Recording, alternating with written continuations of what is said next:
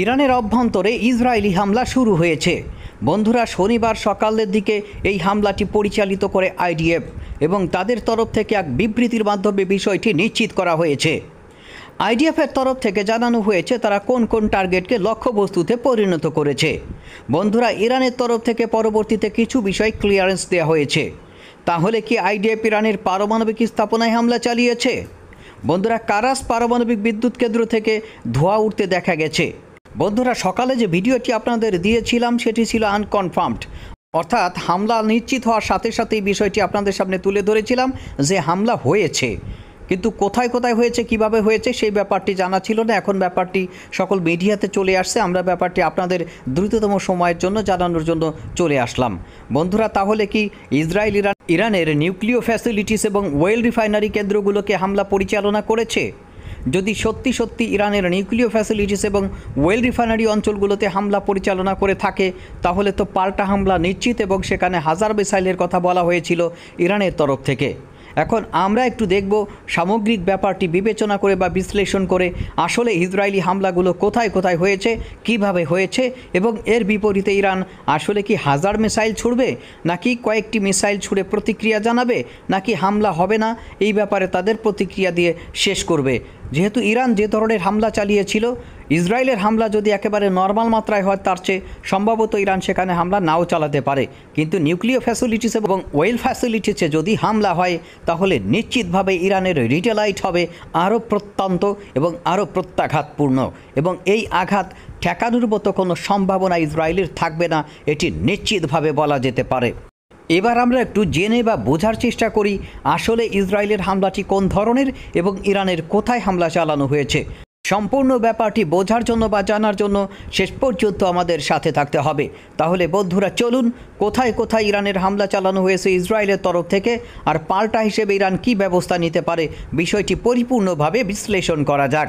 শেষ পর্যন্ত যেভাবে বলা হয়েছিল, সম্ভবত ইসরায়েলি টার্গেট বা ইসরায়েলি হামলাটি তেমনই হলো ইরানের অভ্যন্তরে। বলেছিলাম ইরানের অভ্যন্তরে হামলাটি হতে পারে নিয়ন্ত্রিত এবং পূর্ব পরিকল্পিত। যেটি ইরানকে সম্ভবত কয়েক সপ্তাহ আগেই অবগত করা হয়েছে এবং ইরান, আমেরিকা, ওমান এবং মধ্যপ্রাচ্যের অন্য দেশগুলো সম্মিলিতভাবে এই হামলার একটি একটি পরিচিত প্যাকেজ আগেই পেয়ে গিয়েছিল এবং তারা বুঝতে পেরেছিল কোনভাবে কোথা থেকে হামলাটি আসবে। বন্ধুরা, যেহেতু একটি জাতিসংঘের সার্বভৌম দেশ হিসেবে ইসরায়েলের উপরে পয়লা অক্টোবর ইরান খোলা তলোয়ারের মতো একশো একাশিটি ব্যালিস্টিক এবং হাইপারসনিক মিসাইল নিক্ষেপ করে, তার প্রতিশোধ হিসেবে ইসরায়েল আইন মেনে ইরানের অভ্যন্তরে হামলা চালিয়েছে বলে আইডিএফের তরফ থেকে এক বিবৃতিতে জানানো হয়েছে। ইরানের প্রেস টিভি জানিয়েছে যে সকালে বা শনিবারের প্রথম প্রহরে এই হামলাগুলো পরিচালিত হয়েছে এবং তেহরানের অভ্যন্তরে বিস্ফোরণের শব্দ শোনা গেছে। বন্ধুরা, ইরানের আইআরজিসি সম্ভবত মিলিটারি বেস লক্ষ্য করে এই হামলাটি চালানো হয়েছে। এই মিলিটারি বেসকে লক্ষ্য করে হামলাটি চালানো হয়েছে এই কারণে এখান থেকে হামলার পরিকল্পনা করা হয় বা হামলাটি চালানো হয়। এখন মিলিটারি বেসটি কি ধ্বংস হয়েছে নাকি বাইরে হামলা চালানো হয়েছে, সে ব্যাপারে এখনও পর্যন্ত নিশ্চিত হওয়া যায়নি। তবে একটা ব্যাপার এখানে মোটামুটি কনফার্মড ইসরায়েল এবং অন্যান্য মিডিয়ার তরফ থেকে নিশ্চিত করা হয়েছে, তারা শুধুমাত্র ইরানের পারমাণবিক অবস্থানগুলো এবং অয়েল রিফাইনারি অঞ্চলগুলো বাদ দিয়ে শুধুমাত্র মিলিটারি বেস বা যে সকল অবস্থানে মিসাইল হামলা উৎক্ষেপণ কেন্দ্র রয়েছে, সেটাকেই টার্গেটে পরিণত করা হয়েছে। বিশেষ করে ইরানের শুধু সামরিক পরিকাঠামো অর্থাৎ মিলিটারি বেসগুলোকেই টার্গেটে পরিণত করা হয়েছে, অন্য কোনো স্ট্র্যাটেজিক অবস্থানগুলোকে টার্গেটে পরিণত করা হয়নি। তবে হামলার পরিমাণ বা পরিসর খুবই সীমিত। এই ব্যাপারটি আমার কাছে এমনই মনে হয়েছে। অর্থাৎ মাত্র কয়েকটি বিস্ফোরণের মাধ্যমে সেখানে তারা হামলা করতে পারে এই ব্যাপারটি ইরানকে তারা বোঝাতে চেয়েছে। তবে এরই মধ্যে আরেকটি দুর্ঘটনা নাকি হামলা, সেই ব্যাপারটি এখনও পর্যন্ত নিশ্চিত হওয়া যায়নি। সেটি হলো ইরানের কারাস পারমাণবিক বিদ্যুৎ কেন্দ্রে কালো ধোঁয়া উঠতে দেখা গেছে। তাহলে এই বিদ্যুৎ কেন্দ্রেও কি হামলা চালিয়েছে ইসরায়েল? বন্ধুরা, ইসরায়েলের তরফ থেকে কিন্তু সেটি স্বীকার করা হয়নি। তারা যেটি দায় নিয়েছে বা তারা যেটি স্বীকার করেছে, সেটি হচ্ছে তারা ইরানের মিলিটারি বেস লক্ষ্য করে হামলা চালিয়েছে। ইরানের কারাস পারমাণবিক বিদ্যুৎ কেন্দ্র লক্ষ্য করে হামলা চালিয়েছে। এমন কোনো তথ্য ইরানের তরফ থেকেও জানানো হয়নি, ইসরায়েলের তরফ থেকেও দায় স্বীকার করা হয়নি। তবে এখানে আমার একটু ছোট্ট বিশ্লেষণ আছে। এখানে ইসরায়েলের তরফ থেকে একটু চালাকি করা হয়েছে এবং আমেরিকাকেও কিছুটা বোকা বানানো হয়েছে এবং একটি হিন্স দেওয়া হয়েছে। বন্ধুরা, কারাস পারমাণবিক বিদ্যুৎ কেন্দ্রটি মূলত ইরানের পারমাণবিক প্লান্ট বা পারমাণবিক বিদ্যুৎ কেন্দ্র হিসেবে পরিচিত। এখানে হাই ইন্ডিস্ট কোনো ফিসাইল উৎপাদন করা হয়, এমন কোনো রেকর্ড বা এমন কোনো তথ্য নাই। গত কয়েক মাস পূর্বে এখানে একটি সাবোটাসমূলক হামলা চালানো হয়েছিল বা সেখানে অগ্নিকাণ্ড ঘটেছিল। তাহলে এখানে আজ কেন একেবারে ইসরায়েলের হামলার সাথে সাথে এখানে অগ্নিকাণ্ড ঘটল? আমার মনে হয় এখানে ইসরায়েলি কোনো সাবোটাসমূলক হামলা থাকতে পারে। যেটা ইসরায়েল প্রকাশ্যে আনেনি এবং এই হামলার কোনো দায়ও তারা স্বীকার করেনি। তার মধ্যে একটা কাজে দুইটা কাজ করল এখানে ইসরায়েল।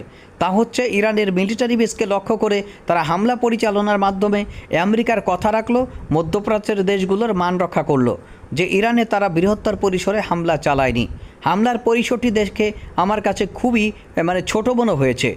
যে সক্ষমতার ভিত্তিতে তারা ইচ্ছা করলে আরও বড় ধরনের হামলা চালাতে পারত, সেই ব্যাপারটি এমন মনে হয়নি। তবে ইরানের পক্ষ থেকে সম্পূর্ণ ব্যাপারটি যদি বিবৃতি আকারে যখন প্রকাশ করা হবে, তখন আমরা ব্যাপারটি আরও খোলাসা করে জানতে পারব। আমরা বলছিলাম যে কারাস পারমাণবিক বিদ্যুৎ কেন্দ্রে তাহলে অগ্নিকাণ্ডের সূত্রপাত বা কালো ধোয়ার উৎস কোথা থেকে আসলো, কীভাবে আসলো? এখানে এমন কোনো মিসাইল হামলা পরিচালনা করতে পারে ইসরায়েল যে তারা হামলা চালিয়েছে কিন্তু দায় স্বীকার করেনি।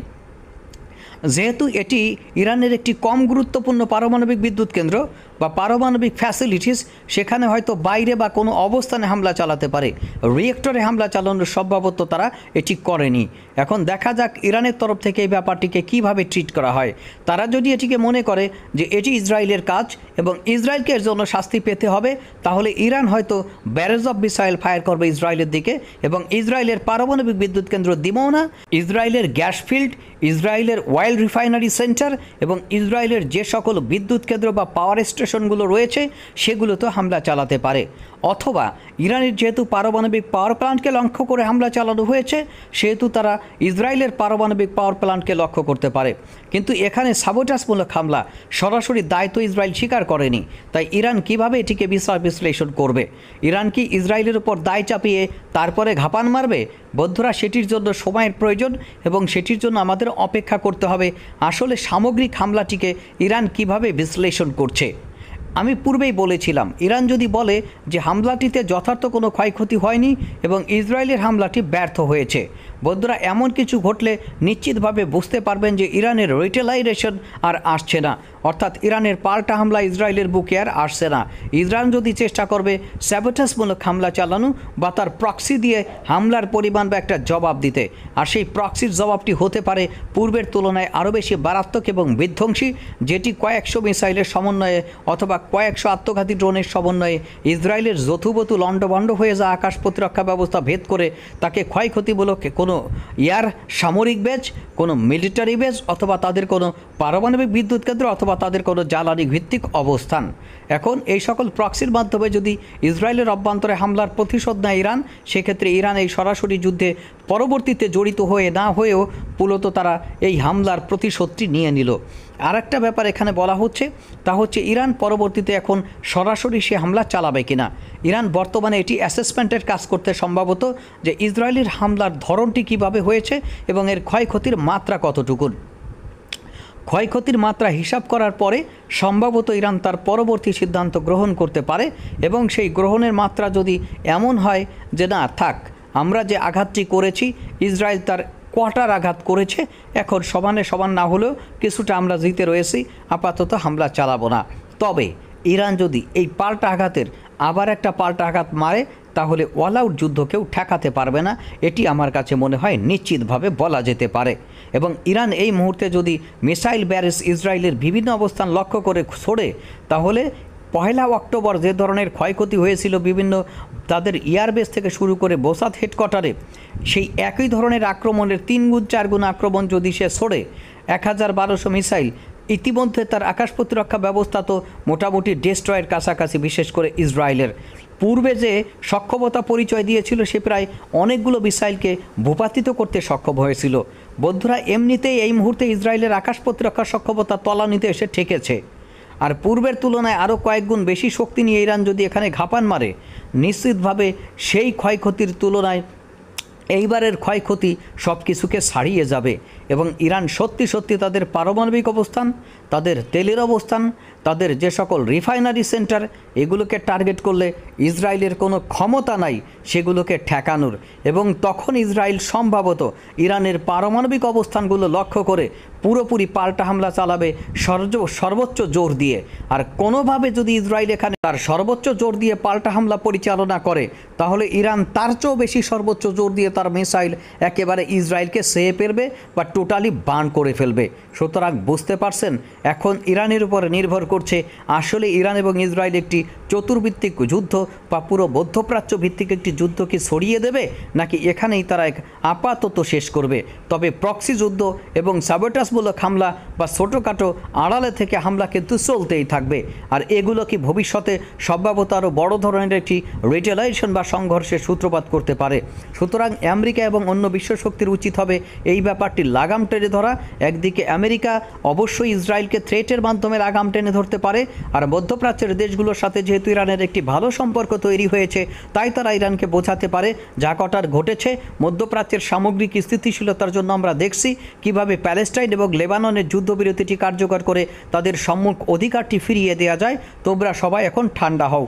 তাহলে মধ্যপ্রাচ্যের আগুন নিভবে, নতুবা মধ্যপ্রাচ্যের আগুন নিভবে না। এই আগুনে শুধুমাত্র ইসরায়েল এবং ইরান পড়বে না, মধ্যপ্রাচ্যের সমগ্র দেশ সহকারে যতগুলো আমেরিকার ঘাঁটি রয়েছে, সবই এই পোড়ার আন্ডারে চলে আসবে।